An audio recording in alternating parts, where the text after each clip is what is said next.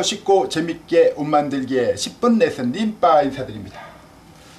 저번 시간에는 티셔츠를 카피해서 패턴을 만드는 것을 배웠어요. 코코 기억하시죠? 코코. 이번 시간에는 패턴 가지고 재단을 하는 방법을 설명해 드릴 건데 옷을 만드시는 분들 중에서 제일 싫어하는 부분이 재단하는 거예요. 이런 다이가 없으면은 방바닥에서 재단해야 되고 이런 부분 때문에도 재단이 무릎도 아프고 허리도 아파서 재단이 제일 어려운데 오늘 배우시는 속전속결 재단법을 좀 익히시면 좀 더 빨리 재밌게 옷을 만들 수 있으실 거예요. 그러기 전에 먼저 연습을 좀 해야 돼요. 가위 연습을 좀 연습을 하는데 어떤 연습을 하느냐 집에 이렇게 못 쓰는 광목이나 천이 있으면은 이렇게 놓으시고 자로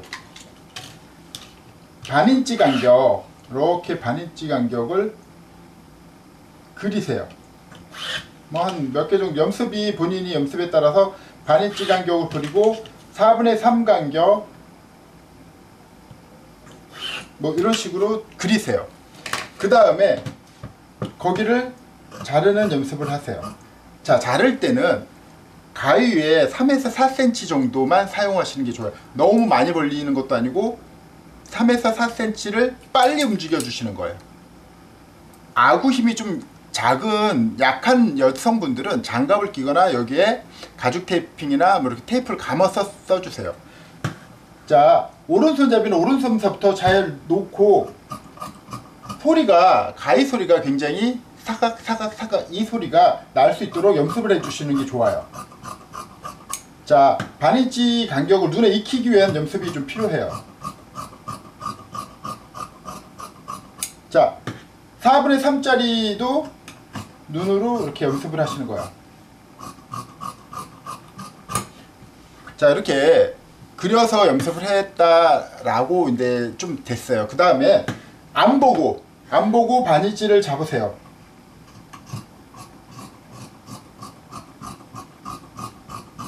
자 반인치로 잡으세요. 어 맞나 안 맞나? 가위 자로 딱 대보세요. 정확하게 반인치. 조금만 연습하면 여러분들도 이번에는 4분의 3 4분의 3을 간격으로 하세요. 맞나 안 맞나 갖다 놓으세요. 정확하게 4분의 3. 뭐 달인이 아니에요. 좀만 연습하면 다 돼요. 자, 1인치 간격, 1인치 간격으로 나는 시접을 자를 거야 라고 주면은 1인치 간격으로 자른 다음에 대보세요. 정확하게 1인치 간격이 나올 거예요. 그렇게 어렵지 않아요. 자, 이 연습이 좀 됐다라고 하면 이제 재단을 해 볼게요. 자, 연습을 좀 하셨다라고 치면 재단을 하는데 먼저 여러분들 앞에 이렇게 어, 준비하신 원단이 있을 거예요. 원단이 있는데 오늘 재단할 거는 아판디파니 골시예요. 그래서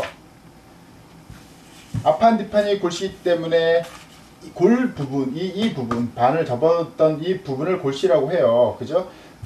이 골시 부분이 양쪽으로 있어야 되기 때문에 반반 접을 거예요. 그럼 뭔 말이냐? 골로 두 장이 나와주면 되는데 안 나오면 골로 하나를 재단하고 하나씩 재단을 할 거예요. 하나씩. 자, 재단하는데 제일 중요한 게 있어요. 결이라는 게 있어요. 자, 여러분들 원단을 이렇게 놓으면 한마 두마 하는 이 결은 다대결이라고 해요. 그러니까 그, 하, 그 우리나라 말로는 네, 식서결이라고 하고 공장에서는 다대결이라고 하고 푸서결, 욕고결이라는 말을 써요. 이쪽을 이쪽을 바이어스결. 자, 이거를 굉장히 중요해요. 왜 그러냐?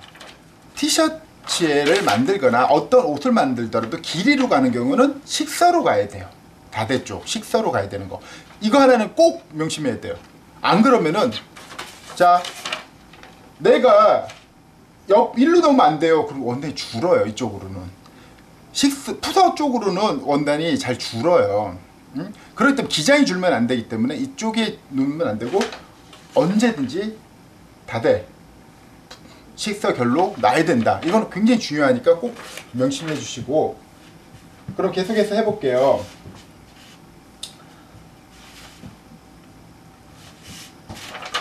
자, 내가 이제 패턴을 반을 딱 접어서 시접만큼 나올 수 있는 만큼 접어서 골시로 밑에 시접과 위에 시접 정확하게 골시로 놓고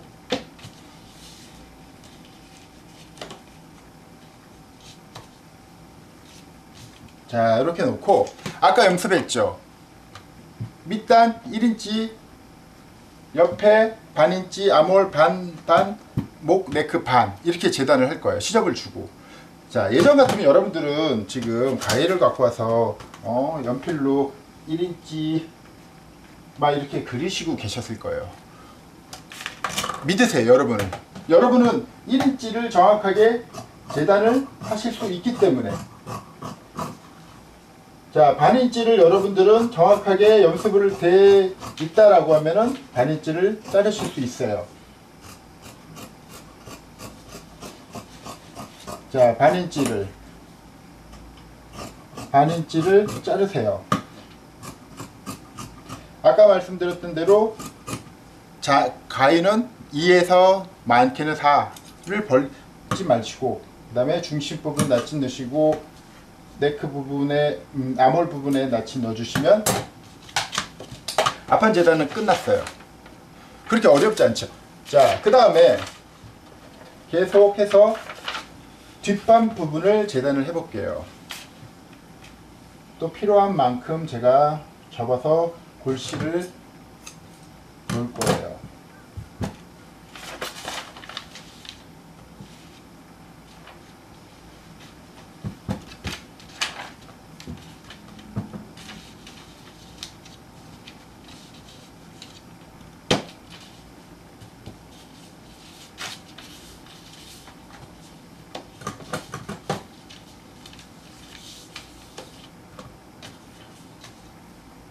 재단하기 위해서 제가 놨어요. 밑에 부분 1인치 놓고 자르실게요. 옆에 부분 반인치로 재단은 자르실게요.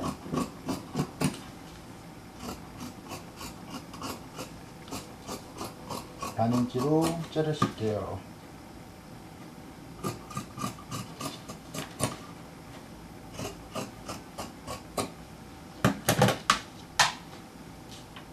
자 이렇게 놓으면 뒷판까지 재단이 끝났어요. 남아있는 부분은 소매하고 카라 부분이 남아있어요.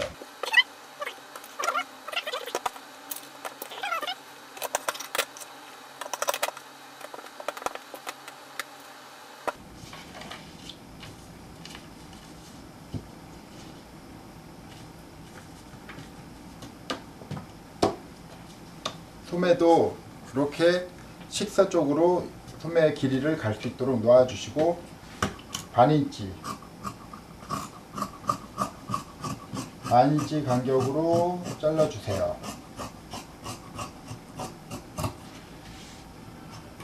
자 끝부분은 여기까지 오고 사- 이렇게 가야 되는 거 여기까지 가고 이렇게 가는 거. 왜 시접을 접었을 때 다시 밑에 부분 1인치 줄게요.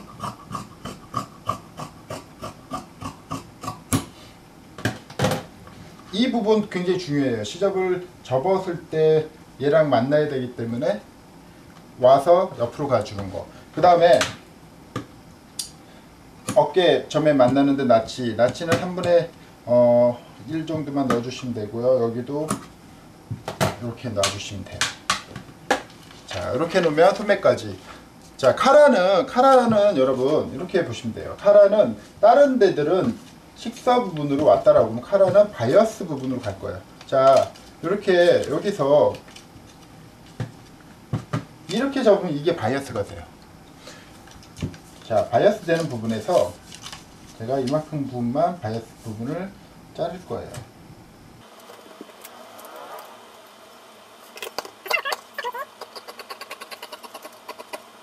면은 바이어스로 꼭 재단을 해주시면은 자 재단은 이렇게 다 끝났어요. 근데 남은 거는 잘 정리하시고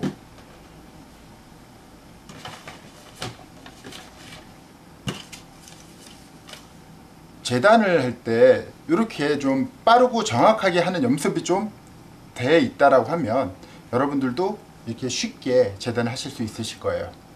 오늘도 지금까지 수고하셨고요. 우리 다음 시간에는 이 재단된 거 중에서 티셔츠의 생명이 앞에를 좀 꾸미는 방법을 설명해 드리려고 해요. 그럼 다음 시간에 또 뵙- 만나요.